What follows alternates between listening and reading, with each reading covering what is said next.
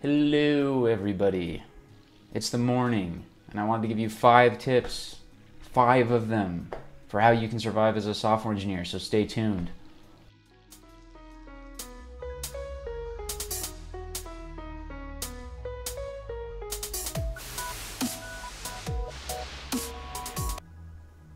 It is super early in the morning, but it doesn't matter because I have five tips for you, five of them, for how you can survive as a software engineer. So listen up. So my first tip for you guys this morning is, and this is a huge, huge, super important one, is to learn to sell yourself. And I know this applies for a lot more than just software engineering, but the reason I bring it up as one of my top tips for surviving as a software engineer is because it is super important we are fortunate enough to live in a time that being a software engineer means, or if you can break into this industry, that means you're going to have a lot of job opportunity. There's a ton of demand for software engineers out there. And so learning to sell yourself, especially like in, a, in an interview scenario or just to network and market yourself as a software engineer is huge. There's going to be tons of places that you have an opportunity to go work. And the reason I bring this one up specifically is a lot of engineers are really, really terrible at selling themselves. You know, there's a stereotype that your typical engineer is a very awkward person, they're antisocial, they're, you know, introverted, or they don't like dealing with people one of the super important things for being able to sell yourself as a software engineer is to be able to talk confidently about what you know. People respond well to that sort of confidence. And I mean, talk confidently about it. I don't mean be cocky or, or be a know it all or pretend things you don't know, but be confident in the things you do know. I've seen like a lot of, a lot of friends, just a lot of other people I know struggle a lot with that aspect of it, but just being confident with, with what they can do. And you'd be surprised how far that can take you.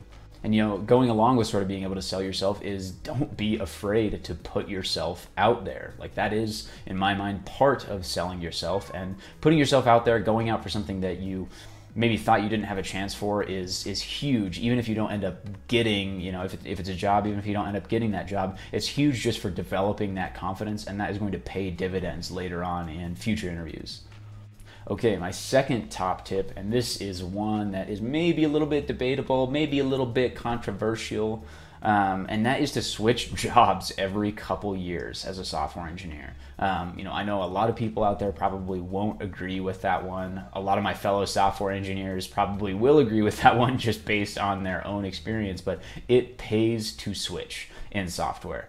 And I say that for a couple reasons. Um, the first reason is that technology is moving crazy fast these days. There are, you know, new technologies, new languages, new sort of ideas for how to approach software engineering popping up every couple years. And if you're not switching, you're kind of siloing yourself into just one job and one sort of maybe language or technology that you've locked yourself into and it frankly, for the most most of the stuff out there, it doesn't take more than a couple years to learn that pretty well, and then by that point, you're kind of ready to move on to the next thing, the next te- te- next technology, and and learn a little bit more.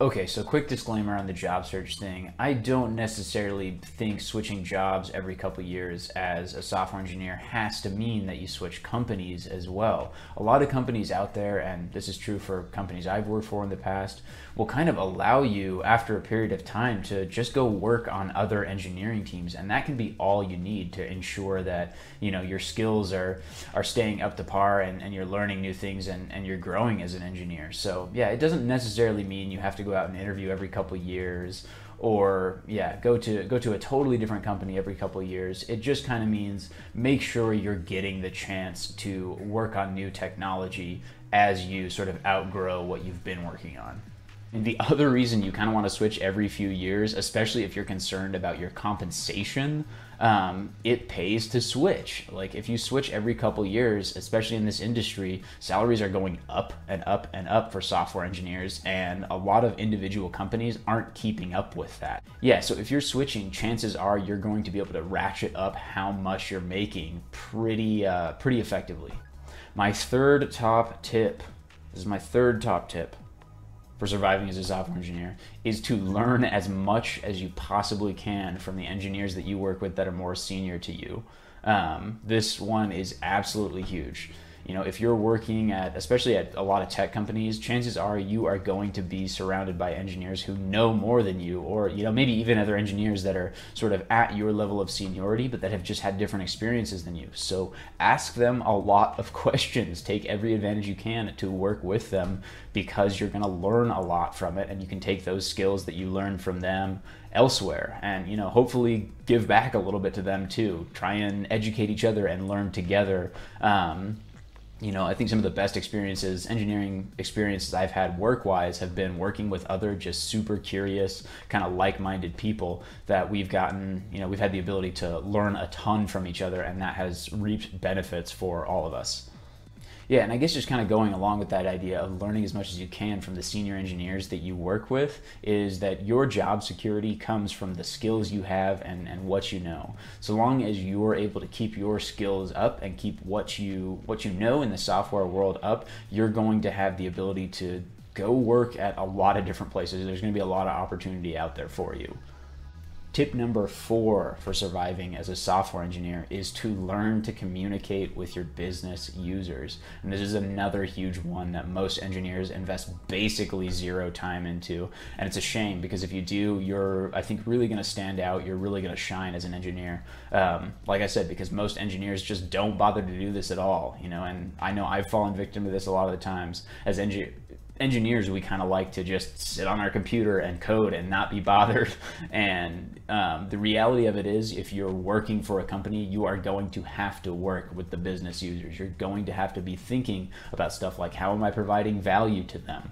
Being able to explain challenging or complicated software concepts to business users clearly and coherently will take you extremely extremely far you know and i know that one of working with business users can be frustrating as an engineer but if you're looking to sort of work your way up the company or move into roles that are going to be a lot more dealing with people type problems instead of just coding all day then it's something you're going to have to do eventually.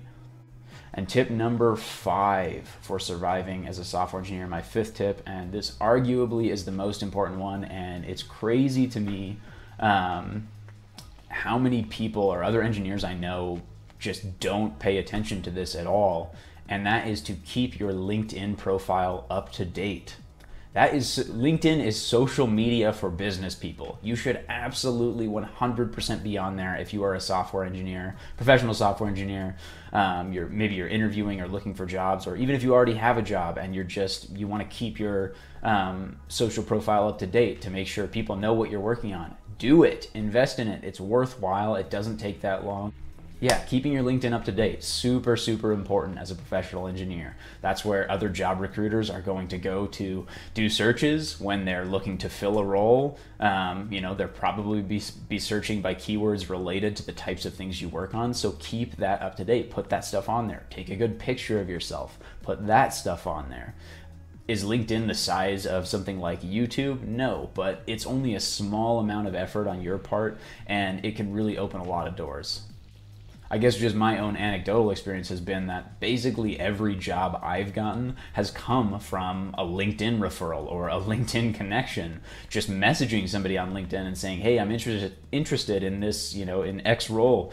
Can you uh, give me an introduction introduction to this person?" A lot of the big tech company interviews that I've had have come from LinkedIn too. You know, I'll go ahead and just Google like Netflix recruiter or Uber recruiter and just find as many of them as I can, connect with as many of them as I can, and just message them and say, hey, I'm interested in interviewing at your company. Can you set me up with an interview? And it doesn't always work out, but it's kind of a numbers game. You know, if you do it 50 times, somebody is bound to respond and say, yeah, sure, let's get you set up. And I mean, honestly, that's how I got my Netflix interview, how I got my Uber interview, um, among a couple others. Yeah, putting just a tiny bit of effort into your LinkedIn and making it look like you care about your professional profile will take you a long way as an engineer, especially given how in demand these jobs are and how frequently recruiters are using it as a tool to find engineers to join their company. Yeah, and that's basically it, guys. Those were my five tips for how to survive as a software engineer. And I can guarantee if you're doing those, you are going to do very well for yourself in the industry. Um, you'll be making a lot of connections. You'll have a lot of kind of doors open for you, a lot of opportunity out there. So, yeah, do them. Just to kind of recap what those five were, the first one was learn to sell yourself as a software engineer. That one is huge. The second one, switch jobs every couple of years. It pays to do that. It is it's worth your time. You'll learn. You'll ratchet up your compensation. Um, the third tip was absorb as much as you can, as much information as you can from the senior engineers on your team, and sort of learn and grow together. That'll take you very very far. The fourth tip was learn to communicate with your business users. Practice those soft skills. Practice being able to communicate because that will take you really far. And the final one is, of course, keep your LinkedIn up to date. It's minimal effort and it can open up a lot of doors for you in the future. Yeah, so those were my five tips, guys. I hope you enjoyed this. Let me know if you want to see more videos like this. I really enjoyed making this one. These are, you know, sort of things that I've thought a lot about and have just helped me a lot in my career as a software engineer. So, yeah, please hit subscribe if you liked everything and let me know if you want to see more videos like this.